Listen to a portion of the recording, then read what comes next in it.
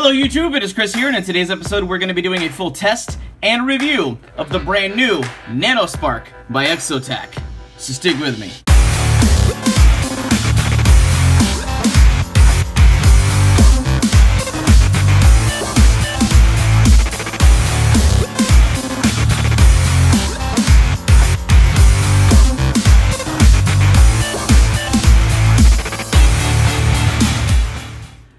Welcome back everybody and thank you for sticking with me. Like I said, today we're going to be doing a full test and review of the brand new NanoSpark by Exotac. For those of you out there who are fire starting fanatics, I'm sure you've heard of Exotac. They are responsible for the Fire Sleeve, the Poly Striker, Poly Striker XL, a lot of the really popular made it in the USA fire starters that we know today on the market. Now, please excuse my fingernails. I'm still dealing with this marker dye from a past video for the Boss Kits from Sanford Outdoor Supply. Uh, it's been the bane of my existence. But, however, Exotac just recently finished up a Kickstarter for the NanoSpark. It's their new flint wheel design for their fire starting series. And it is nothing special in the way of its uh, flint wheel. It literally creates sparks very reliably, has a smooth wheel, but what sets it apart, and I'm going to show off a few different spark wheels that I personally own, which is a simple metal spark wheel that I got from Zippo with their emergency fire starter, and the last one I own is the Sparklite, which is from that aviation um, fire starting kit that you can find on Amazon. It's been around for the eight since the 80s, I believe. It's a really old but tried and true design. I mean, it works really, really, really well. But one thing that Exotac did differently is they made sure you have a nice firm grip. This is a little bit bigger than the other competitions, which I like, so you have better articulation if you need to grab onto this thing. Make sure you have a positive grip. If you're in cold, inclement weather, you could be injured. They also made it available so you could attach it to a lanyard so you can keep it on your pack, you can keep it in your pocket, you can tie it around your neck if you want to you have a lot of options. But what they did is they made sure, and something they are famous for doing is basically creating capsules. And this has a capsule built inside where you can hold your own tinder. And then there's a spot right here where you can replace the flints. Realistically, that is kind of revolutionary due to the fact that it allows you to hold just this in your hand without having to have any ex anything extra and you have fire tinder you have a way to light a fire. This is a nice emergency everyday carry backup system that'll work really well but it's overall in a very light small form factor. But once you see it you're kind of thinking to yourself, why the hell did someone not come up with this like five years ago? Now, due to the fact that this is a spark wheel and this does have O-rings to kind of keep everything nice, tight, sealed, and waterproof, they do have a Nano Spark flint kit, which has five replaceable flints and two different O-rings. I don't know if you have to buy this separately um, in full transparency. I mean, like as you guys, most of you guys know, most of the stuff that ends up on the channel was sent in for free for review. But like I tell the, the companies and you guys, I'm always honest about my thoughts and opinions whether I like or dislike something. So we'll go ahead and get all the really good things out of the way about the NanoSpark. I like it. It's a little bit heavier than the other flint wheels that are the competition. I'll go ahead and get those out of the way.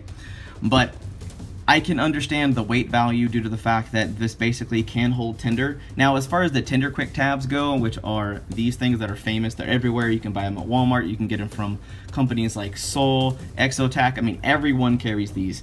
But you can only carry one of those in there. But if you decided you wanted to take the little uh, cartridge out that is right here, you could probably put, you could probably take that little metal piece out and just use this container for some smaller pieces of petroleum jelly and cotton balls. You could basically put whatever you want in there. Something that I would probably do, to I love the space to weight ratio, are these fat packs from Wazoo Survival Gear. I like these because for their size and waterproof capabilities, you get 30 to 45 seconds of fire starting with them. They are also first aid available. It wouldn't be a good test and review and gear review channel if we didn't actually take this thing outside and test it against the different types of tinder. So we use the quick tinder tabs, which we know are proven. We have these little paraffin wax and cotton sticks that you can get from Zippo. And we did the fat packs obviously. We also took this is actually a new product I think from Exotac it is their brand new Tinder zips. Basically you can put this on a jacket. You can basically put this anywhere you want your backpacks all your packs. You could replace these. And they basically are just nylon cordage and inside is a fire starting core. There is no paracord involved. I mean, it's too small to really put that in there. But you get four strands of um, these, this size that's kind of woven into a single solid bit. And the little red fluff ball that you see in front of you is actually only two of those strands. And as soon as you process your tinder correctly, all of that stuff lit up like a freaking Christmas tree. And like with any processing of your tinder, one thing I can tell you guys is you can never, ever over process your tinder. Now, when you have very light, fluffy, airy tinder, this is where the spark wheel is going to shine. Where it won't shine, and you'll have to upgrade to something like a lighter, a ferro that actually showers down a lot more sparks, is when you move into things like the Fatwood shavings, you're moving into Fatwood itself, natural tinder that doesn't want to light, it doesn't have accelerants, it doesn't just light up in a very quick second. And even when I was doing, trying it with the celluloid guitar picks, unless you process that thing down to almost non-existent, you can't use the NanoSpark. Given its lightweight versatility and waterproof nature, this is something I can feel comfortable throwing into a Altoids tin or like a fire kit of any kind. Doesn't really matter what you choose to put in there but you could kind of have something like this or alternatively this would be very right at home for someone who wants to have a more complete everyday carry. With that said, we love the Exotac NanoSpark. I'm really excited about this. I love the design um, improvements they've done on the traditional spark wheel. The fact that they added the capsule, they have the O-rings for waterproofing. They made sure there was a port for lanyard and it, everything is replaceable as far as the O-rings and the flint is concerned. It strikes really, really well. I haven't had any issues where this has stuck on me and it won't spin. So something that I've noticed from Exotac is a lot of their stuff is high quality and it's something I appreciate from them.